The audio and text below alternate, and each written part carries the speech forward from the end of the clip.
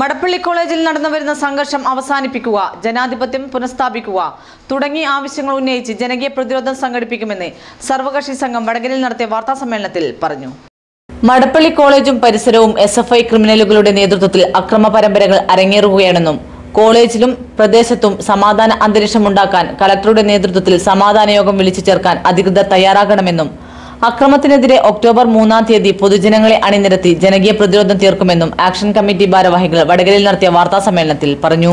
മടപ്പള്ളി കോളേജിലുണ്ടായ സംഘർഷവുമായി ബന്ധപ്പെട്ട് അത് തെരുവിലെത്തുകയും മടപ്പള്ളിയിലെത്തുകയും രണ്ട് പെൺകുട്ടികളെ പരസ്യമായി ദേഹോപദ്രവം ഏൽപ്പിക്കുന്ന സ്ഥിതി സംജാതമാവുകയും.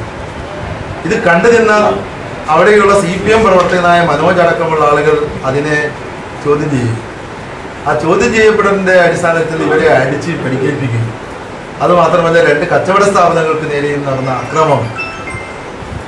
ഇതാണ് ഈ സംഭവത്തിന്റെ വളരെ ഗൗരവമായ വശത്തേക്ക് മടപ്പള്ളി കോളേജിലെ കലാലയത്തിലെ മായി ബന്ധപ്പെട്ട വിഷയം വളരെയേറെ ഗൗരവമായി മാറിയിരിക്കുന്നു എന്നുള്ളത് കൊണ്ടാണ് ആ പ്രദേശത്തെ സമാധാന കക്ഷികളായ എല്ലാ രാഷ്ട്രീയ പാർട്ടിക്കാരും യോഗം ചേർന്നുകൊണ്ട് ഇങ്ങനെ ഒരു വിഷയത്തിലേക്ക് ഇനി നിങ്ങൾക്ക് നീങ്ങാൻ പാടില്ല. കാരണം ഇത് മടപ്പള്ളി കോളേജിലെ കലാലയവുമായി ബന്ധപ്പെട്ട വിഷയങ്ങൾ അത് പുറമേക്ക് വരികയും പുറത്തുള്ള ആളുകളുടെ കച്ചവട സ്ഥാപനങ്ങൾക്ക് നേരെയുള്ള കയ്യേറ്റങ്ങളും അതുമാത്രമല്ല അവിടെയുള്ള പ്രദേശത്തെ പ്രദേശവാസികളായ ആളുകൾക്ക് നേരെയുള്ള കയ്യേറ്റങ്ങൾ വരുന്നു എന്നുള്ളത് ഒരു നിസ്സാര സംഭവമായി നമുക്ക് കണ്ടുകൊണ്ട് ഞങ്ങൾ പറയുന്നത് അടിയന്തരമായി നിങ്ങൾ സമാധാന യോഗം വിളിച്ചു ചേർക്കണം.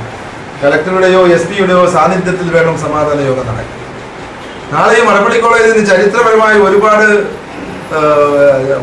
നമ്മുടെ കേരളത്തിൽ തന്നെ അറിയപ്പെടുന്ന കോളേജുകളൊന്നാണ് മലപ്പള്ളി കോളേജ്. അവിടെ ഈ രീതിയിൽ ഇനി മുമ്പോട്ട് പോകാൻ പാടില്ല ഒരിക്കലും പോകാൻ പാടില്ല. അക്രമം നടത്തിവരുന്ന വിദ്യാർത്ഥികളെ കോളേജിൽ നിന്ന് പുറത്താക്കും വരെ സമരം നടത്തുമെന്നും അക്രമികളെ സംരക്ഷിക്കുന്ന നിലപാടിൽ കോളേജിൽ ഉപരോധം ഉൾപ്പെടെയുള്ള സമരം സംഘടിപ്പിക്കുമെന്നും കോളേജ് യൂണിയൻ ഓഫീസ് ആയുധപ്പുരകളായി മാറിയതായും ഭാരവാഹികൾ വാർത്താ സമ്മേളനത്തിൽ പറഞ്ഞു. ഈ കേസിൽ പ്രതിയായ മുഴുവൻ കുട്ടികളെയും മുഖം നോക്കാതെ ആര് എന്നുള്ളതല്ല. പുറമേ നിന്നുള്ള പെൺകുട്ടികളെ കയ്യേറ്റം ചെയ്തു നിസ്സാരമെന്ന് വളരെ ഗൗരവമുള്ള വിഷയമാണ്. രണ്ട് കടകൾക്ക് നേരെ കയ്യേറ്റം നടത്തി വിദ്യാർത്ഥികളാണിവർ. ഈ പെൺകുട്ടികളെ കയ്യേറ്റം ചെയ്യുന്ന ആളുകളെ തടയാൻ വന്ന ആളുകളെ അടിച്ച് മാരകമായി പരിക്കേൽപ്പിച്ചു. ഇവർ ക്രിമിനലുകളാണ്. ഇവർ വിദ്യാർത്ഥികളാണ് എന്നുള്ള അഭിപ്രായം ഞങ്ങൾക്കില്ല. ഇവർ ക്രിമിനലുകളാണ്.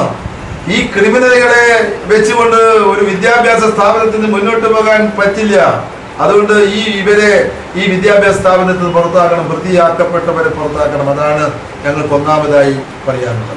ഗൃഹോപകരണ നിർമ്മാണ വ്യാപാര രംഗത്ത് എഴുപത്തിയഞ്ച് വർഷത്തെ സേവന പാരമ്പര്യമുള്ള വാണിജ്യ വ്യവസായ ഗ്രൂപ്പ് മേൽത്തരം റാണി മാർക്ക് അലൂമിനിയം പാത്ര നിർമ്മാതാക്കളായ C V R aluminium re rolling unit. ഞങ്ങൾ ഉടൻ സ്റ്റീൽ പാത്ര നിർമ്മാണത്തിലേക്ക് ഇന്ത്യയിലെ പ്രമുഖ ഗൃഹോപകരണ കമ്പനികളുടെയും ഞങ്ങളുടെ വ്യവസായ സ്ഥാപനത്തിലെ ഉൽപ്പന്നങ്ങളും ഉപഭോക്താക്കൾക്ക് നേരിട്ട് അതിവിശാലമായ പാർക്കിംഗ് സൗകര്യം. Bright marketing old bus stand Chanthaparambu Vadakara. C V R aluminium re rolling industrials estate Karimbanapalam Vadakara.